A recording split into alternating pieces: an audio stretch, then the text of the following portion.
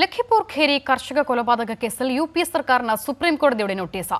September ഇരുപത്തിയാറിനകം മറുപടി നൽകണമെന്നാണ് കോടതിയുടെ നിർദ്ദേശം. വിവരങ്ങളുമായി അരവിന്ദ് ഉണ്ട് ദില്ലിയിൽ നിന്നും അരവിന്ദ മറ്റ് വിശദാംശങ്ങൾ എന്തൊക്കെയാണ്?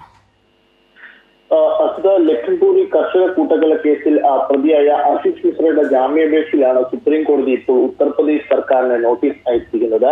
അതായത് നേരത്തെ ജാമ്യം ലഭിച്ചാൽ പ്രതി സാക്ഷികളെ സ്വാധീനിക്കാൻ സാധ്യതയുണ്ടെന്ന് ചൂണ്ടിക്കാട്ടി അലഹബാദ് ഹൈക്കോടതി ജാമ്യം നിഷേധിച്ചിരുന്നു. ഇതേ തുടർന്നായിരുന്നു ആശിഷ് മിശ്ര സുപ്രീം കോടതിയിലെത്തിയത്. അതിലാണ് ഇപ്പോൾ ഉത്തർപ്രദേശ് സർക്കാരിന് സുപ്രീം കോടതി നോട്ടീസ് അയച്ചിരിക്കുന്നത്. എന്തായാലും സെപ്റ്റംബർ ഇരുപത്തി ആറിനുള്ളിൽ നോട്ടീസിൽ മറുപടി നൽകണമെന്നാണ് ഉത്തർപ്രദേശ് സുപ്രീം കോടതി വ്യക്തമാക്കിയിരിക്കുന്നത്. എന്തായാലും നമുക്കറിയാം ഇതിനു മുമ്പ് അലഹബാദ് ഹൈക്കോടതി ആശിഷ് മിശ്രയ്ക്ക് അനുവദിച്ച ജാമ്യം സുപ്രീം കോടതി ഒരിക്കൽ റദ്ദാക്കിയിരുന്നു. അതായത് ഹൈക്കോടതി പുതിയതായി വാദം കേട്ട് തീരുമാനമെടുക്കണമെന്നായിരുന്നു അന്ന് സുപ്രീം കോടതി നിർദ്ദേശിച്ചത്.